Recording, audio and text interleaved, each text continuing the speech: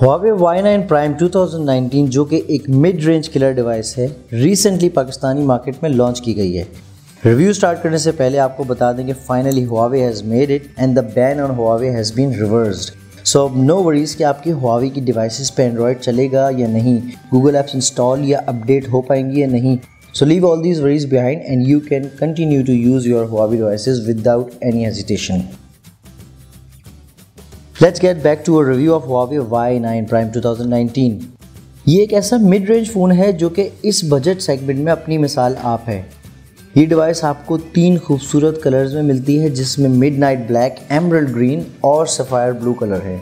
ये डिवाइस इस price range में पहला ऐसा मोबाइल है जिसमें आपको पॉपअप सेल्फी कैमरा और अल्ट्रा वाइड एंगल लेंस एक साथ एक्सपीरियंस करने को मिलते हैं। Huawei Y9 Prime 2019 में आपको Kirin 710F का चिपसेट 128GB की स्टोरेज और 4GB की रैम भी मिल जाती है। वो भी सिर्फ़ 33,999 रुपीस के प्राइस टैग में। सो so, ये कहना बिल्कुल गलत नहीं होगा कि ये एक मिड रेंज किलर डिवाइस है जहाँ आपको बहुत से प्रीमियम फीचर्स मिलते हैं सिर्फ़ थर्टी फोर थाउज़ेंड रुपीज़ में।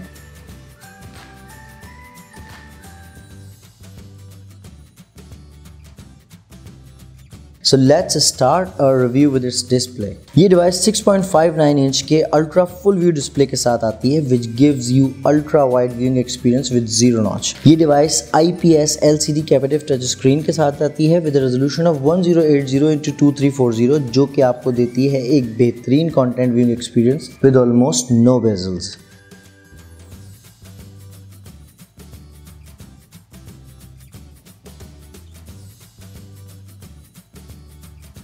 यहाँ आपको किरण 710F का प्रोसेसर मिल जाता है, जैसा कि हम पहले बता चुके हैं। It performs really well while performing your daily task साथ ही आपको 128 GB की बड़ी स्टोरेज मिलती है, जो अमूमन इस प्राइस टैग में दूसरी डिवाइसेस ऑफ़र नहीं करते। And it has 4 GB RAM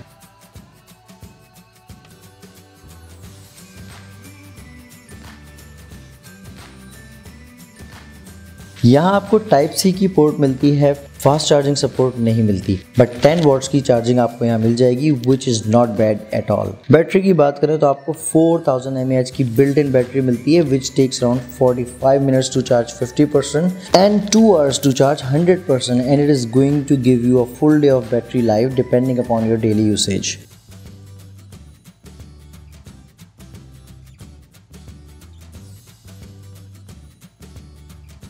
Huawei Y9 prime में आपको फेस आईडी का ऑप्शन नहीं मिलता। हाँ लेकिन फिंगरप्रिंट सेंसर का ऑप्शन ज़रूर मिल जाएगा and it performs quite fast and accurate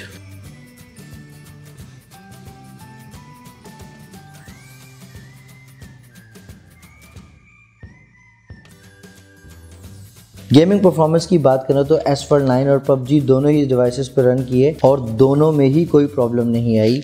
ना ही फ्रेम्स ड्रॉप हुए, ना ही कोई हीटिंग प्रॉब्लम हुई। पबजी में मैं कहूँगा कि मीडियम सेटिंग पे कहीं कहीं लैग्स फील हुआ बट लो ग्राफिक सेटिंग में it performs really good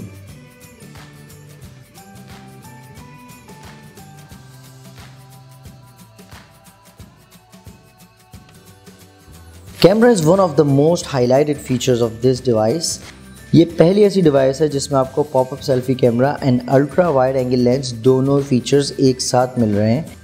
इसी प्राइस टैग में जो हम बता चुके हैं आपको थर्टी फोर थाउज़ेंड रुपीज़ यहाँ आपको फ्रंट पे 16 मेगापिक्सल पॉपअप सेल्फी कैमरा मिलता है विच इज़ एआई सपोर्टेड और सबसे अच्छी बात इसके पॉपअप कैमरे में ये है कि अगर सेल्फी लेते हुए या कोई भी पिक्चर खींचते हुए आपका फ़ोन गिर जाता है तो it automatically retracts the camera result की बात करें तो सेल्फी कैमरा अच्छी लाइटिंग कंडीशन में इमेजेस बहुत अच्छी और शार्प प्रोवाइड करता है। और डिटेल भी काफ़ी अच्छी है बट कहीं कहीं इमेजेस ओवर सेचूरेटेड होती नज़र आई। बट ओवरऑल फ्रंट कैमरा का रिज़ल्ट काफ़ी अच्छा है। वीडियो की बात करें तो आप फ्रंट कैमरे से 1080 की रेजोल्यूशन पे वीडियो शूट कर सकते हैं। इमेज स्टेबलाइजेशन मिसिंग थी अदरवाइज़ वीडियो का रिज़ल्ट भी काफ़ी हद तक सेटिस्फाइंग था। बैक पे आपको ट्रिपल कैमरा सेटअप मिलता है, जिसमें लेंस आपको 16 मेगापिक्सल का मिलता है विद एफ़ 1.8 साथ ही आपको 8 मेगापिक्सल अल्ट्रा वाइड लेंस मिलता है और 2 मेगापिक्सल का डेप्थ सेंसर मिलता है अलॉन्ग विद फ्लैश यहाँ आपको अच्छी लाइटिंग कंडीशन में बहुत अच्छी पिक्चर्स मिलती हैं।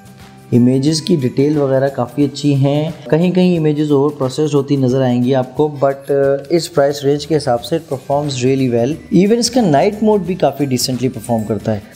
I was quite happy about the image results but can't say the same for wide angle lens wide angle lens से ली गई पिक्चर्स एवरेज क्वालिटी की थी। थोड़ी इमेजेस में डिटेल वगैरह मिसिंग नज़र आई but overall camera experience was good considering its price range video की बात करें तो बैक कैमरे से भी आप 1080 तक की रेजोल्यूशन में वीडियो रिकॉर्ड कर सकते हैं। Results are good but still optical image stabilisation is missing so guys ये था हुआवे वाई नाइन प्राइम 2019 का रिव्यू उम्मीद है आपको पसंद आया होगा। मजीद आने वाली नई डिवाइसेस के रिव्यूज़ और अनबॉक्सिंग देखने के लिए चैनल को सब्सक्राइब करें। Thank you for watching and stay connected to हमारी ऐप डॉट कॉम